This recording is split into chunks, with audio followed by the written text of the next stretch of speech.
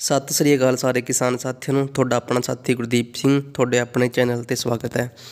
ਗੱਲ ਕਰਦੇ ਹਾਂ ਮੰਡੀ ਭਾਵਾਂ ਦੇ ਬਾਰੇ। ਅੱਜ ਤੜਕੇ ਤੜਕੇ ਦੇ ਨਰਮੇ ਦੇ ਭਾਅ ਆਪਾਂ ਦੇਖ ਲਈ ਕੀ ਰਹੇ ਅਨੂਪਗੜ ਮੰਡੀ ਦੇ ਵਿੱਚ ਨਰਮਾ ਜਿਹੜਾ 9000 ਤੋਂ ਲੈ ਕੇ 9900 ਰੁਪਏ ਤੱਕ ਕਾਰੋਬਾਰ ਕਰ ਰਿਹਾ ਹੈ।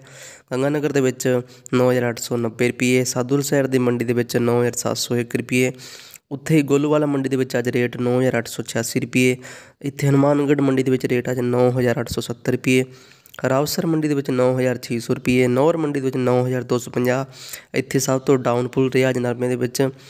ਉੱਥੇ ਕਪਾਸ ਦਾ ਰੇਟ 7500 ਰੁਪਏ ਪ੍ਰਤੀ ਕੁਇੰਟਲ ਪੀਲੀਵੰਗਾ ਮੰਡੀ ਦੇ ਵਿੱਚ ਨਰਮੇ ਦਾ ਰੇਟ 9800 ਰੁਪਏ ਪ੍ਰਤੀ ਕੁਇੰਟਲ, ਸੰਗਰੀਆ ਮੰਡੀ ਦੇ ਵਿੱਚ 9751 ਰੁਪਏ ਪ੍ਰਤੀ ਕੁਇੰਟਲ, ਸੂਰਤਗੜ੍ਹ ਦੀ ਮੰਡੀ ਦੇ ਵਿੱਚ ਨਰਮੇ ਦਾ ਰੇਟ 9695 ਰੁਪਏ ਰਾਈਸੀ ਨਗਰ ਮੰਡੀ ਦੇ ਵਿੱਚ 9758 ਰੁਪਏ।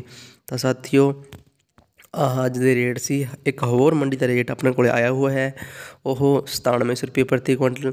ਤਾਂ ਸਵੇਰ ਸਵੇਰ ਦੇ ਰੇਟ ਹੈ, ਕਿਉਂਕਿ ਅੱਜ ਕੱਲ ਬੋਲੀਆਂ ਸਵੇਰ ਜਲਦੀ ਹੋ ਜਾਂਦੀਆਂ, ਤਾਂ ਕਰਕੇ ਤੁਹਾਨੂੰ ਅਪਡੇਟ ਸੀ ਛੇਤੀ ਦੇ ਦਿੰਦੇ ਦੇਣੇ ਸਾਥੀਓ। ਤੇ ਅੱਗੇ ਵੀ ਕੋਈ ਅਪਡੇਟ ਆਊਗੀ ਤਾਂ ਤੁਹਾਨੂੰ ਅੱਜ ਅਪਡੇਟ ਦਵਾਂਗੇ। ਅਗਲੀ ਵੀਡੀਓ ਦੇ ਵਿੱਚ ਵੀ ਅੱਗੇ ਰੇਟ ਕੀ ਰਹਿੰਦੇ, ਅੱਜ ਰੇਟ ਦੇ ਵਿੱਚ ਬੜੋਤਰੀ ਹੋਣ ਦੇ ਚਾਂਸਸ ਹੈ, ਕਿਉਂਕਿ ਅੰਤਰਰਾਸ਼ਟਰੀ ਬਾਜ਼ਾਰਾਂ ਦੇ ਵਿੱਚ ਅੱਜ ਰੇਟ ਠੀਕ ਚੱਲ ਰਿਹਾ ਸਾਥੀਓ।